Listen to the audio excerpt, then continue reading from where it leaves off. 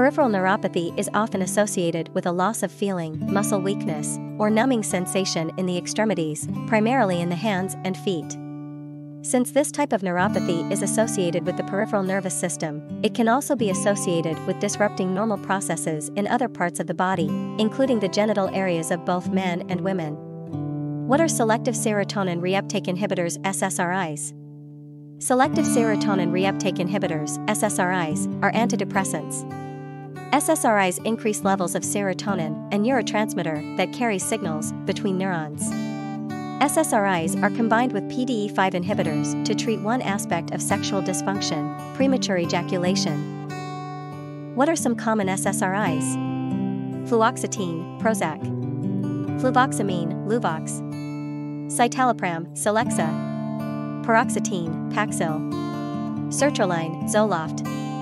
Escitalopram, Lexapro. Vortioxetine, Trintellix, formerly Brintellix.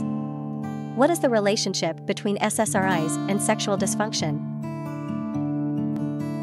While PDE5 inhibitors are the first line treatment in sexual dysfunction, particularly as it pertains to erectile dysfunction, some approaches use a combination of PDE5 inhibitors and SSRIs. However, SSRIs have been shown to cause a reduced interest in sex, difficulty in arousal, sustained arousal, and reaching orgasm, among other symptoms. SSRIs and sensory changes.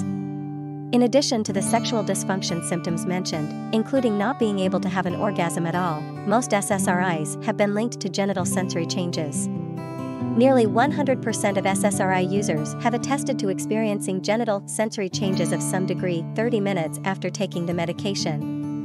The sensory changes include reduced sensitivity, often described as a numbing sensation or genital arousal, irritability, much is still being learned about the association between peripheral neuropathy and sexual dysfunction, and new treatments and therapies are being actively researched.